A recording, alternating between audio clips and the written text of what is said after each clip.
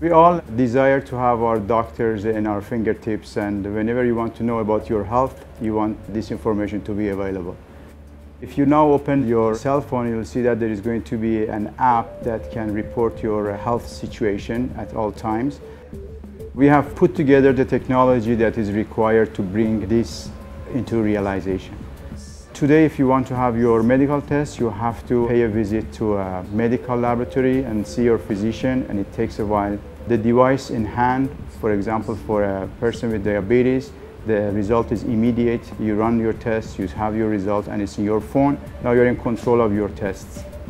The backbone of the device in hand today is lab on a chip or micro total analysis and we have been working towards improvement and enhancement of this system for a decade. The device we have in hand also has other components, so in order to make this standalone device, we had to solve quite a few issues from electronics to communication to connection to a phone. And of course, the lab on chip is what runs the chemistry and biochemistry assays to provide that health monitoring information that we want.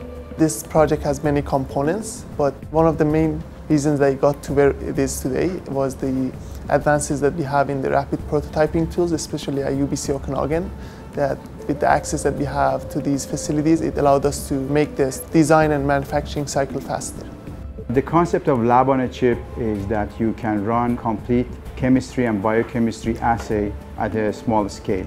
So there are different technologies to support this idea. The technology we have introduced is based on motion of droplets and it provides more flexibility and reprogrammability for these devices. When I started working on chip devices, I was really interested to see how the mechanical engineering can be mixed with electrical engineering in order to generate microfluidic chips that can move microliter droplets. And it's really interesting to study how the microliter droplets move in the microscale. One of the main reasons that we have been able to integrate everything into this handheld device is the fact that we can program our chips. A smartphone can run those programs for us. In addition to the fact that this device is handheld, it is also quite flexible to carry out different type of experiments on the same device. One of the devices you may pick up from any drugstore is blood sugar measurement. So the difference between our device and those is that the main price tag on those devices relates to the chips that you have to purchase every time.